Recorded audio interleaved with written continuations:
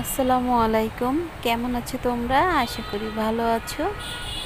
তো আমার যে দুর্ঘটনাটা হয়ে ঘটে গিয়েছিল, তো আর তার মানে বলতে গেলে কি, আমি মৃত্যুর খুব কাছাকাছি থেকে ফিরে চলে এলাম।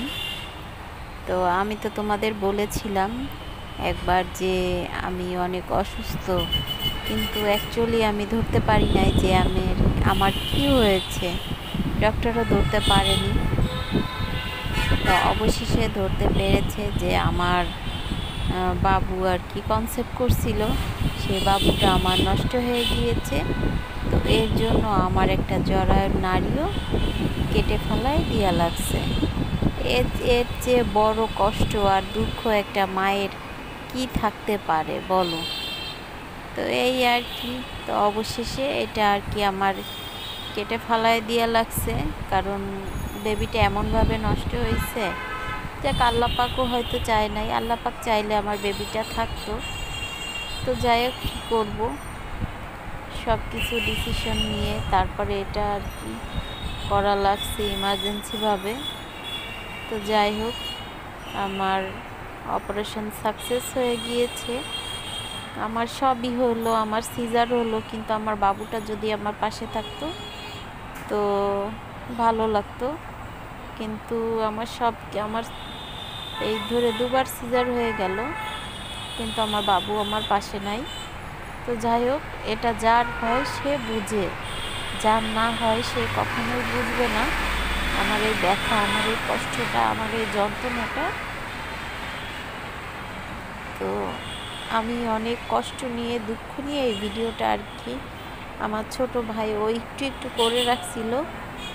তো সেটা আমি তোমাদের সাথেই শেয়ার করতেছি। জানি না তোমরা ভালো মনে করবে কিবা খারাপ মনে নিবে, আমি জানি না। কিন্তু যাই হোক, আমি শেয়ার করলাম তোমাদের সাথে। তো আমার এই দুঃখ, কষ্ট, তার মানে আমি আর চেপে রাখতে পারতেছি না এই অবস্থা। তো আমার একটা বেবি আছে, আমার ছেলে, তোমরা তো জানো, চেনো ওকে। কিন্তু যখন আমার যে বেবিটা আসছে, আমি নিজেই জানি না যে আমায়, আমি কনসেপ্ট করছি কিংবা আমি আবার মা হব, আমি বুঝতেই পারি নাই। তারপরে ওটা আমার ভাগ্যে নাই। এর জন্য ও চলে গেছে।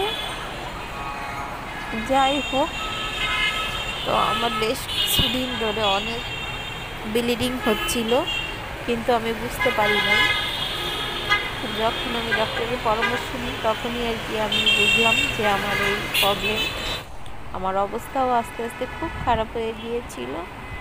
তো আমার এই, যাই হোক, আমার এই দুঃখের এই দিনগুলোতে আমি যা তোমাদের সাথে শেয়ার করতেছি তোমাদের যদি ভালো লাগে, তোমরা আমাদের, আমার পাশে থেকো, আমার চ্যানেলের পাশে থেকো।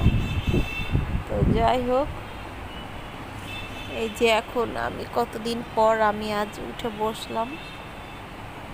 আমার আপু, আমার মা, আমার ছোট ভাই, সবসময় ওরা আমাকে সাপোর্ট দিয়েছে, আমাকে সাহস দিয়েছে। যাই হোক, যার, আমার যদি বড় বোন না থাকতো আমি বুঝতাম। যে আমার কতটাই কষ্ট হতো। তো যাই হোক। আমার সব কিছুই তারা করল, আদর, যত্ন, সেবা। তো যার একটা বড় বোন আছে, তার আর কিছুই লাগে না। মায়ের মতোই সেবা করে। আমার ছোট ভাই, ও আমার জন্য অনেক কিছু করেছে। তো যাই হোক। আর স্বামী তো হাসি হাজব্যান্ড হাজব্যান্ড তো থাকেই। তো আমি যখন ভয়েসটা দিচ্ছি, আমার খুব কষ্ট হচ্ছে। তারপরও আমি তোমাদের সাথে শেয়ার করতেছি। তো যাই হোক, এই যে আমি তিন দিনের দিন আমি নাস্তা করতেছি। রং চা আর সাদা রুটি, কারণ ভারী খাবার খাওয়া যাবে না। আর আমিও খেতে পারতেছি না, আমি মাথা নিয়েও বসতে পারতেছি না। তো তোমরা দোয়া করো। আমার বাড়ি যাওয়ারও সময় হয়ে গিয়েছে। একটু একটু করে আমার ছোট ভাই ভিডিও করে রেখেছিল আমার জন্য। তো যাই হোক, তোমরা সকলেই আমার জন্য দোয়া করো। আমাকে সাপোর্ট করে যাবে। কারণ ডক্টর বলতেছিল যে বেশিক্ষণ থাকলে এই রুগীটাকে হয়তো বা বাঁচানো যেত না। তো যাই হোক, আল্লাহ যদি রাখে, মারবে কে? আল্লাহ রাখছে, বিদায়ই আসি আল্লাহ হয়তো বা আল্লাহ কি বলব? আল্লাহ যদি রাখতো আর আল্লাহ যদি পারতো, তাহলে তো আমার বেবিটাও থাকতো। তো আল্লাহর হয়তো বা কোনো না কোনো ই ছিল, এর জন্যই আমার বেবিটা নষ্ট হয়ে গিয়েছে। তো এই যে আমার দুপুরের খাবার কবুতর আর হচ্ছে নরম যে জাউ ভাতটা সেটা তারা আমাকে খেতে বলছে দুদিন পর। তো এই যে এটা এখন আমার আম্মু আমাকে খাইয়ে দিবে। ঝাল বেশি দিও না।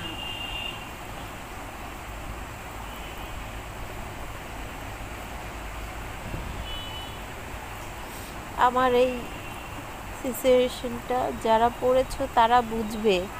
যে আসলে এই সময়টায় যে একটা মার মনে কেমন লাগে, কি তার মানে তার তার ভিতরটা কি হয়ে যায়? আমি তো কাউকে তার মানে বলতে পারতেছি না আর বুঝাইতেও পারতেছি না যে কেমন লাগে। জাল হয়েছে। তো আস্তে জাল ছাড়িয়ে দিই কোনো বলে অল্প একটু শুকনো দিই তো যাই হোক আমার আম্মু আমাকে খাইয়ে দিচ্ছে একটু সামান্য দিই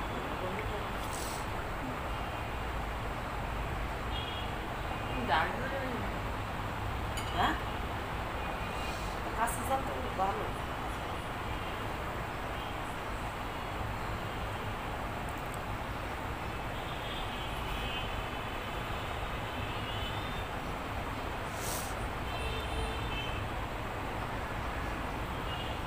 What is